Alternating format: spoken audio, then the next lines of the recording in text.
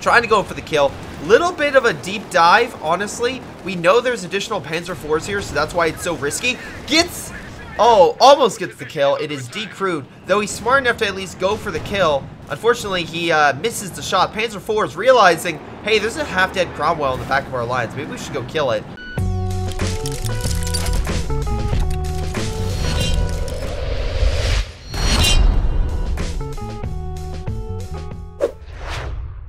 Hello everyone, this is Greyshot 17 here bringing you another COH2 replay. This is a 3v3 on Red Ball Express. We have three Axis, three allies, including two Brits and a Soviet versus a Wehrmacht and two OKW. Now, someone here is a B4 Sean or higher RNG God supporter, so that's why I'm casting it today on a Saturday. If you want to submit your own replay, you can do so via greyshotproductions at gmail.com. And if you want to try to increase your chance of being featured on 4K uh, Saturday's uh, replay day, you can do so. Just check out my Patreon, support me there. And if you just want early access to videos, stuff like that, put down that support and you can check out early access to content shoutouts at the end of the video, uh, both verbal and written, along with some other nice little bonuses, including Discord access. So, with that shoutout underway, let's get to this game. We have General 43, Varus, Jew, I said Jew, but it's Goo, my apologies. Uh, Joan of Arc, Sunny, and Ranger 412. Um,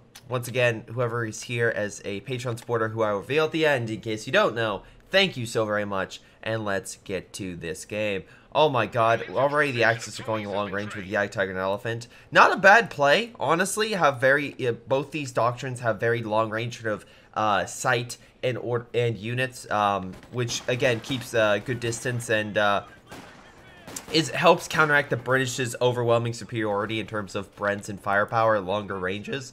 Once the once they're upgraded, they can be a real hassle to deal with.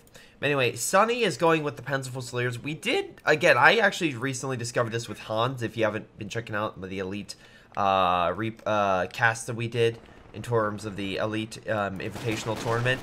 Those are not as good as Volk Squads, they're unless upgraded. They're really not. So, just a little heads up. Now, it looks like the Brits immediately retreated because of the MG. Not bad idea. Why waste manpower? Uh, meanwhile, looks like the British in mid doing a lot better, grab munitions, and actually looks like we have some Soviets going for this point. However, the Axis are going in for the fuels. The Axis might control both fuel in the next minute, which would be pretty big uh-oh if that was the case. Storm Pioneers going in after the British infantry. Coming around the flank, um, maybe trying to overwhelm the Soviets who are advancing instead of capturing the point. That's a big mistake in my opinion. I think he's trying to go and throw a satchel on the MG, but luckily Ranger sees this and is going to reposition. But Varus is very close, although not, not enough. So very close, but not enough for a satchel which would be instrumental in killing this. Now, it looks like he just will have enough right now, but he's already retreating, and he's just going to back off. Again, you have to push in when you have the special, because then the satchel would work. Otherwise, you're just going to be in a situation where then you're retreating, and you're hoping to God that the in this case, Sturm Pioneers don't kill your unit, but luckily the force is able to block sight, make him escape. Meanwhile, if German forces coming on in, but the Brits stop his advance.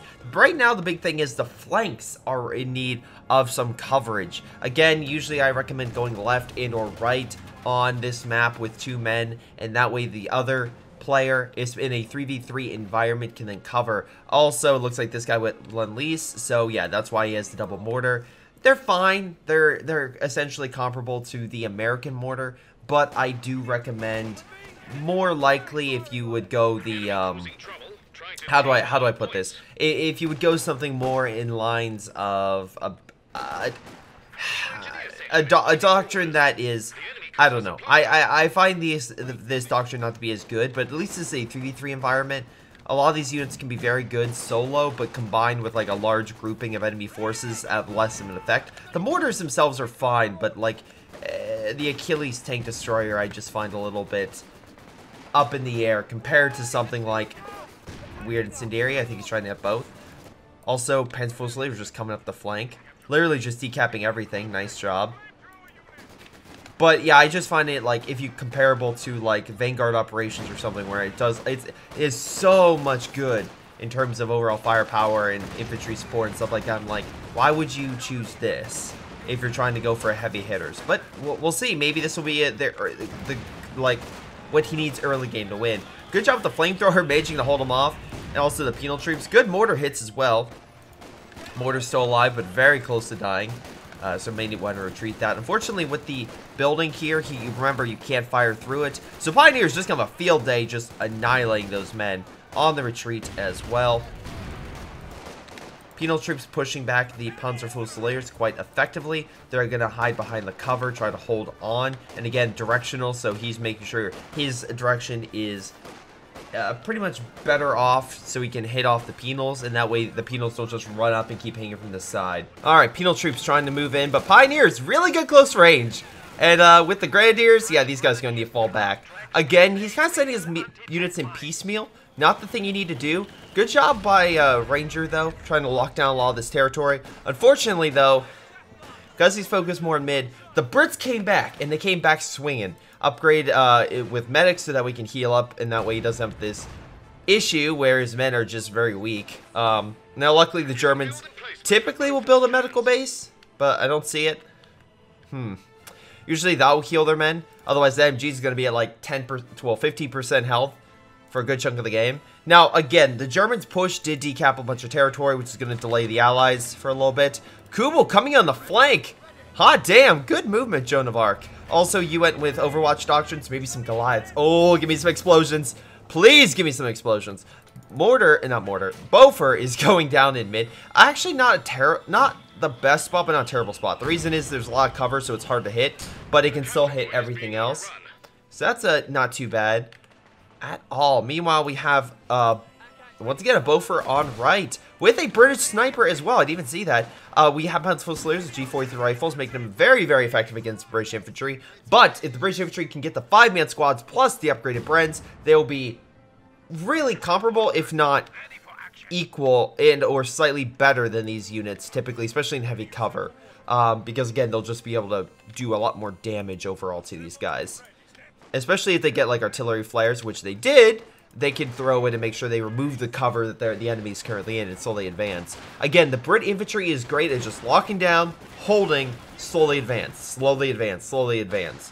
Where a lot of these other units are good for like flanking or picking off weak links um, with their rifles. What the hell is this? The Kubels go- Joan of Arc going in from behind, cutting off a lot of allied territory. Now, unfortunately, we don't have encirclement, but I don't think they know that. And this Kubel is saying, F it, the OKW can do encirclement, and is. Right now, the Allies are down to 4 fuel and 6 munitions. Kubel trying to make a desperate escape. Meanwhile, the British infantry, along with the base MGs, are opening fire. No! Kubel's charging into the base! And unfortunately, perishes next to it. And while the Allies recapture that territory, it's once again going to delay them a little bit and give the Axis a little bit time to fortify, put down bunkers. Re, uh, I'm assuming, yeah, keel up the MGs and prepare for a counterattack. I assume on right, but with that Bofor there, I don't know how you're going to do it. We also have a mortar pit as well. We have two Brits that are, looks like, in placing very well. Flamethrower pushing the Germans out of their heavy cover. Looks like we have a Soviet counterattack, but Luchs coming in from behind. Bofor not having it, and unfortunately pushing back the Panzer II. Remember, it's a light vehicle, so that Bofor will be able to shred it if it's able to fire a full volley at it. However, However, again, one thing that it could do is fire through the brush and trying to hit the unit. But then again, the Bofor could do the same thing. But if they're not paying attention, then also this little guy could come in. Uh, it's a Goliath. Now, technically, there should be a lot more to this unit if we're talking about historical, if we're going to be historically accurate. But it, who needs to be historically accurate? We got a Goliath on our team.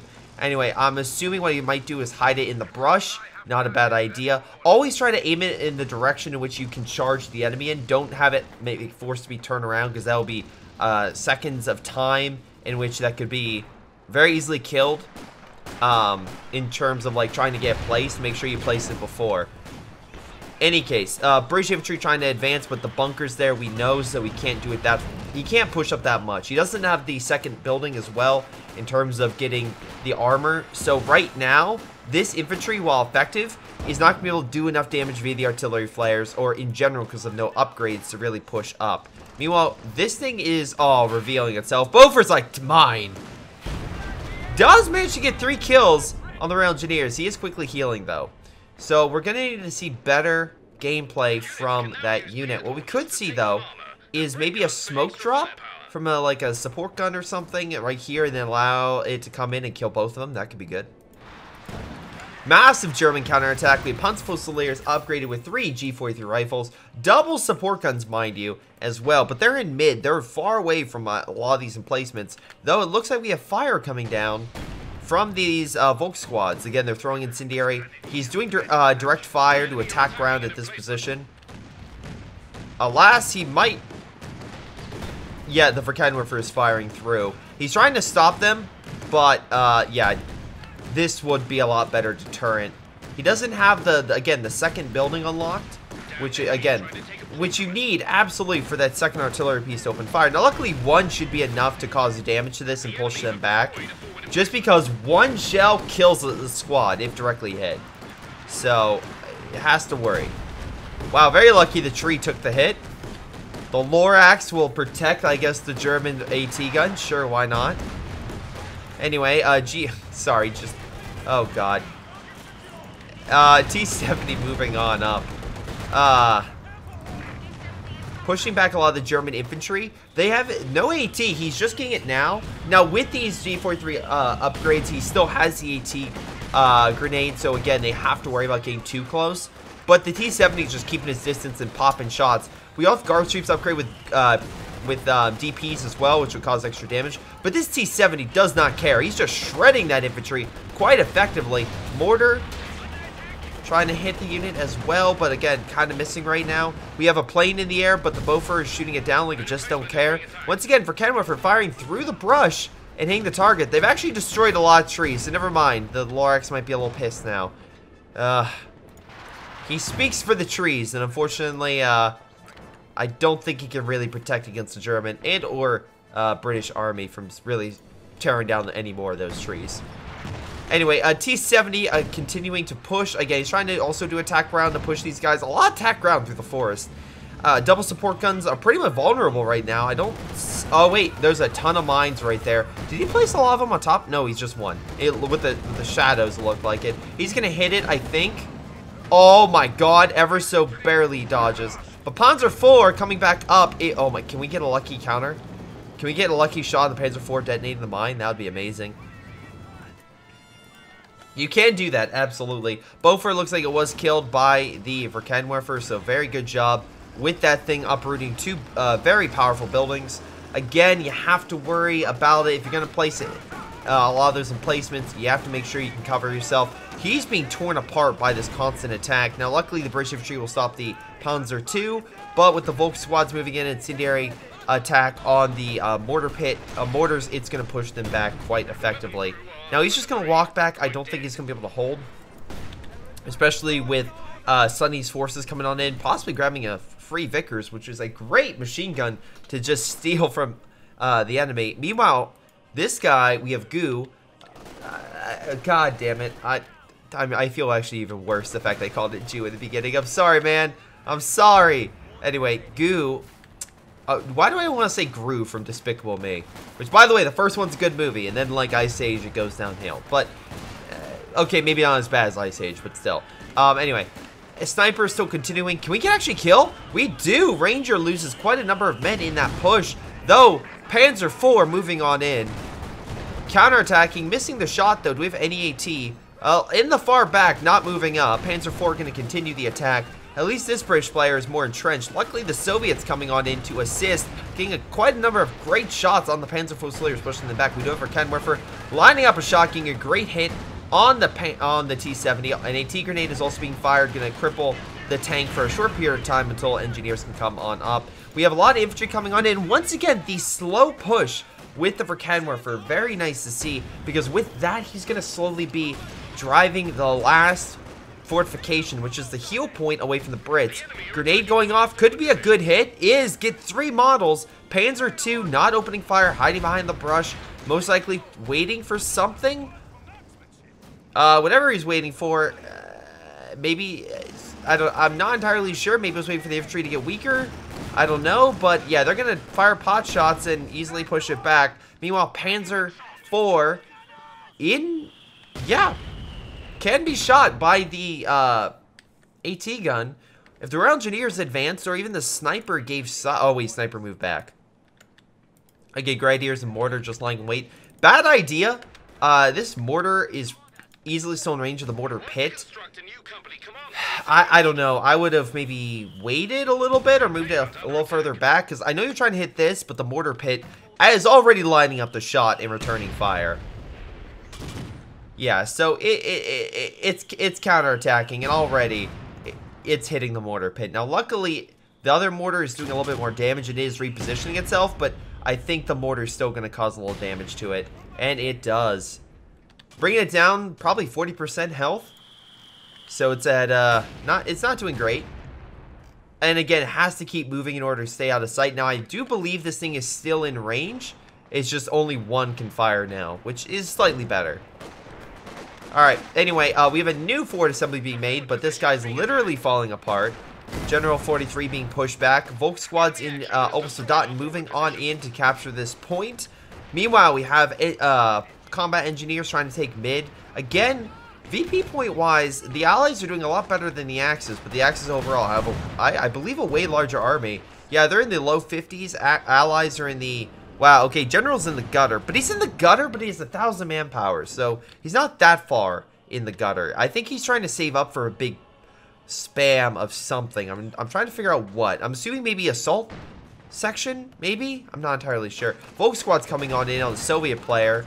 Gonna cuck him a little bit because of the Panzerfaust come. Oh, wait, no, they killed the... Oh, they keep killing the man trying to shoot the Panzerfaust. That's hilarious. It's like the guy would come up, the model would die. The, the next one would come up, the model would die. The next one would come up, the model would die. And you can do that. You can absolutely can kill the model firing over and over and over again. Good grenade uh, on both sides, killing a lot of men. Unfortunately, the Panzer II might... No, actually, he's not focusing on the unit. Penal's coming in to take the point, but with no AT, this thing is just going to shred him. T-70, though, coming on in to fire some pop shots uh, not the greatest engagement in terms of overall health, but it's doing fine. Meanwhile, it's a domino effect. Right now, Sunny's just pushing in in mid because, again, the Soviets had to reposition to fight off Joan of Arc. Meanwhile, Sniper gets killed by the Grenadiers, but the British infantry doing a lot of damage toward them and pushing them back. Mortar Pit and the Bofor are still alive, doing quite well. Looks like the mortar had to be pulled back. Another Panzer IV moving on in. Not a lot of AT, but we do have a Cromwell? Is that Cromwell or Comet? Yeah, it's Cromwell. I'm like, I, I want to say it. Not, I'm 90% sure it's Cromwell, but sometimes, you know, like uh, uh, as as many of you know, if you see my replays, I go blind and unable to see what's going on, which sucks for a commenter, but you know, it, it happens. I, I start questioning myself, not no idea what's going on, you know, everything just goes dark as, as my stress increases. It's it's a whole thing. It's a whole thing. Anyway, Moving on from that, in my deep, solemn depression pit. Anyway, uh, support guns being pushed back by the British artillery. Again, both Vet 2, Vet 3, but very low on health. I would recommend going back, getting them healed up.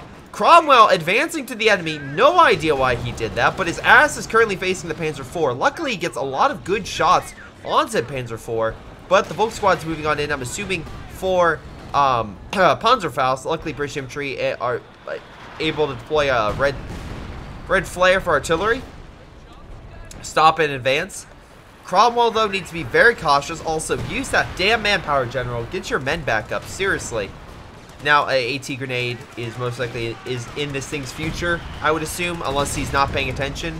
But luckily, he's still focusing on, well, vehicles, so, you know, maybe want to turn that off. Although, lucky shot, lucky shot there. Up, can you able to kill on the retreat? Nope, the tractor saves the Panzer Fusiliers on the retreat. Meanwhile, uh, we got some uh, Jaeger infantry squads moving on in from behind. We have an artillery piece being placed by the Soviets who went Soviet combined arms. Again, very good for support, very good infantry. And by support, I mean airstrikes and recon. So, artillery coming in. Amazing shot kills the for Verkehrwerfer and helps kill the G43. Actually, that's that's more men, I would assume. How many Panzer Fusiliers does he even have? Oh, now he's saying his own men. He has one squad. That means he killed two of them here. Holy mackerel, that's a big F for Sunny. Good job for the Soviets. Yeah, nine kills. He absolutely killed two squads. So very good job. Very good shot in that regard. Meanwhile, Panzer IV's advancing, but the mines are stopping him with the Bofors shredding the infantry. Allies making a nice small comeback off the Axis uh, failed attacks. British forces holding the line firmly in there. Yet, firmly. And actually, my counterattack, we can see the Germans try to hold this front, but with the infantry, as you can see, retreating, it's not looking well because there's two Panzer IVs. A T-gun could move up, and again, this would be a good time to move it up and use recon to just keep smacking those Panzers.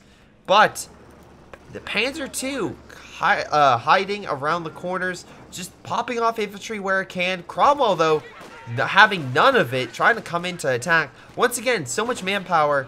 You could be absolutely using it. Did he just run over his own men? No. Okay, I, was, I got worried there. Also, he could use the speed to run him over along the side. Double Panzerfaust does cripple it. You're you're retreating the Royal Engineers, but it's retreating forward toward this base. Uh, that's a little weird. Why did, would it retreat backwards? But okay, pathfinding for the win. Meanwhile, support guns back up to full health, uh, returning fire on the penal troops that are trying to push forward. But it's pushing forward on a Panzer IV. Remember, the OKW variant has better armor, which is why you can see here it automatically has the armored skirts, where these ones do not. But it's weird.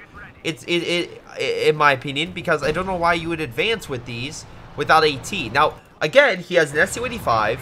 He has guard troops with DPs, which shred armor. Even heavy armor has to worry about this stuff. Not as much as, let's say, Rangers or Paratroopers, but the AT equivalent to guard troops is still very, very good and can definitely hold back armor and do quite a number of quite a number of damage. Artillery is coming down this sector. Actually, no, over here in this sector, because artillery shots like both here.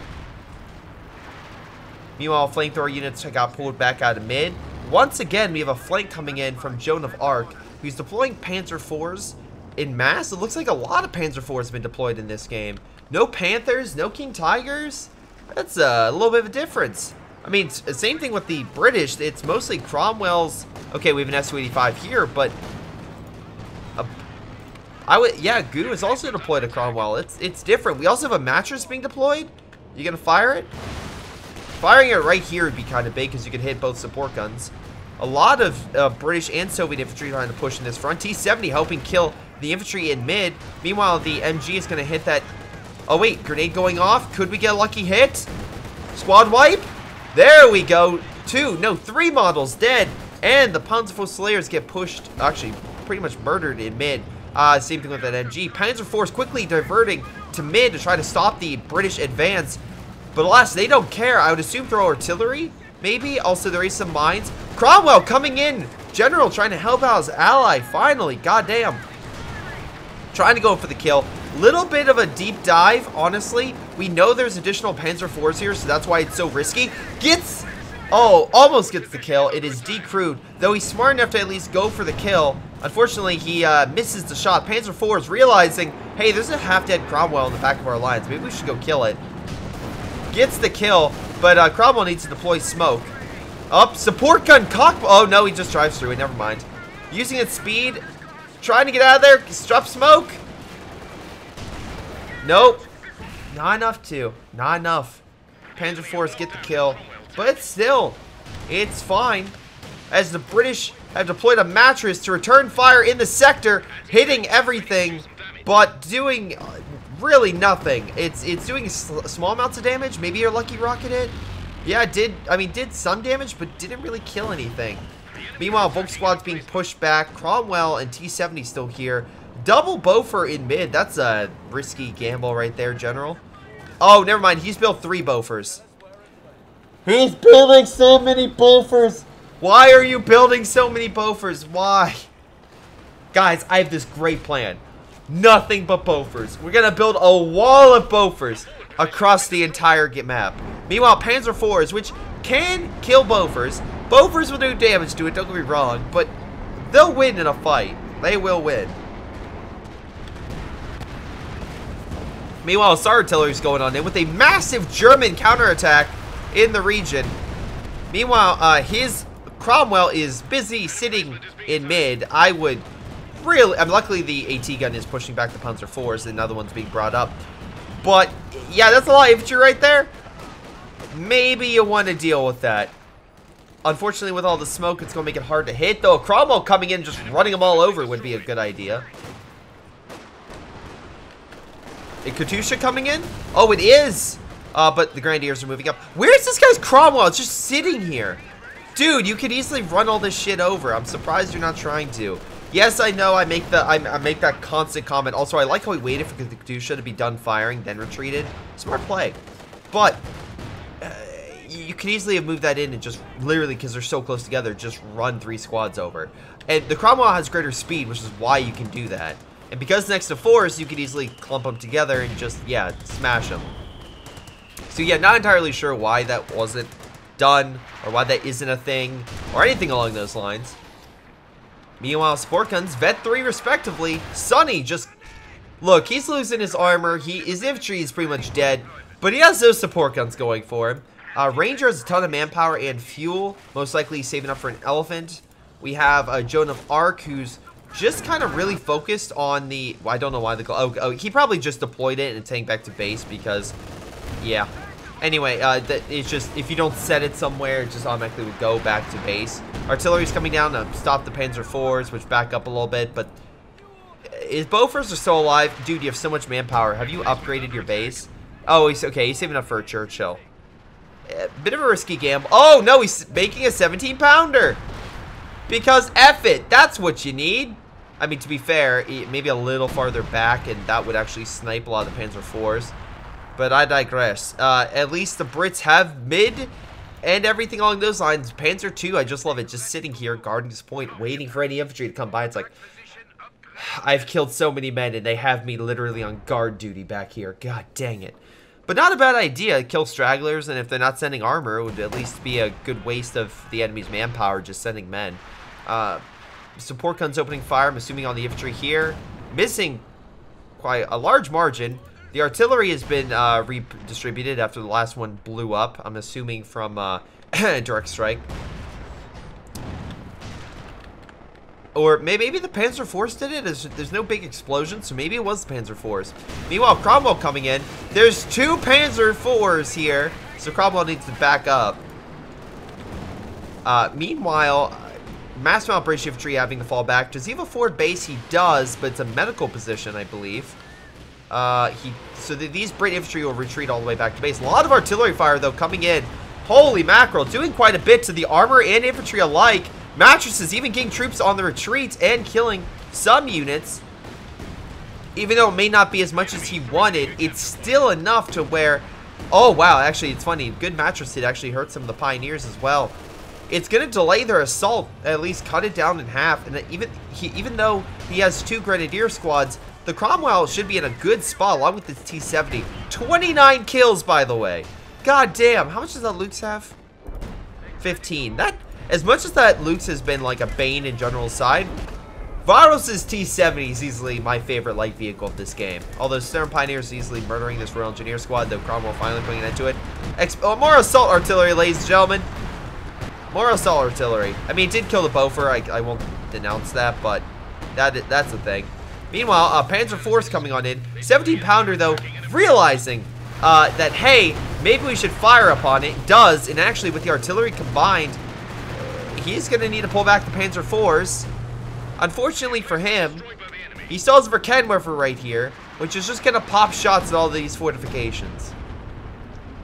It's been a while that, since I've seen a uh, British fortify, especially with Lend-Lease, because usually they go with fortification doctrine or something.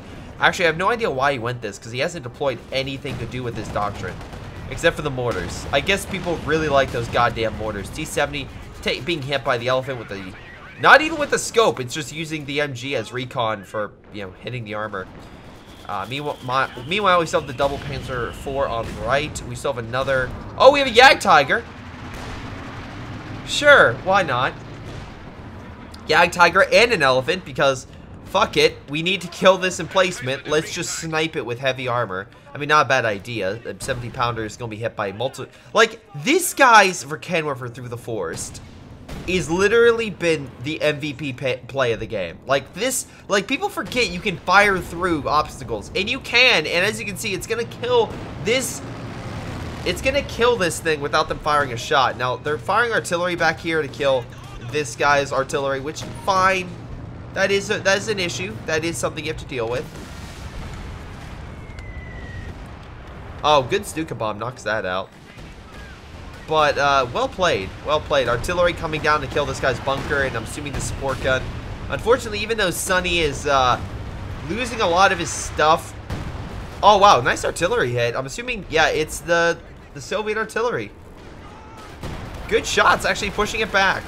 Again, you can also use artillery, the stationary ones, to push back armor. So, well, well played. Meanwhile, Bofors shooting down some aircraft and as well trying to hold back the Panzer IVs, which, as we just saw, not going to happen. And with that, I'm assuming General's dead. He has one Bofors left, so easily the MVP of this game. Hold on, are you, what rank are you? You are three, oh my god! What is this game? Oh, I didn't even notice that. I didn't even notice that. These are all top tier players. These are all top tier players. I thought these were like newer people. No, there's some, these guys should know better. What the fuck, General, are you thinking? Oh my god. Ladies and gentlemen, rank does not matter. Let's say it with me again. Rank does not matter. In terms of the prestige counter. Jesus Christ. That was utter, utterly terrible.